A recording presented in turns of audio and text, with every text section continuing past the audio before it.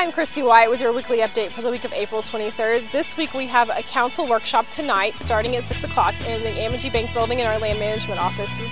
And then tomorrow night we have a council meeting, and as always, you can attend the council meeting in the council chambers at 300 West Walker at 6 p.m., or you can tune in online on our website at leaguecity.com, or of course, you can watch on Channel 16 on Comcast Cable. Also, this week, starting tomorrow, sign up for Camp by the Creek. If you have children and they need a summer activity, this is a perfect one. You can register online on our website at leaguecity.com. Just click on the Parks and Recreation sign up on the left side of your homepage.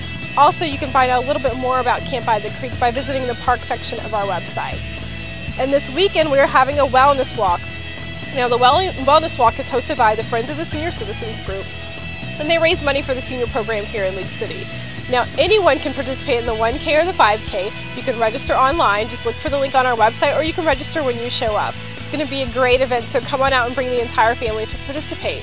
And immediately following the wellness walk, you can stay here right in League Park and participate in the Spring Arts and Crafts Show. There will be all kinds of vendors here with all kinds of crafts and art to share with the community. So come on out and take part in that as well.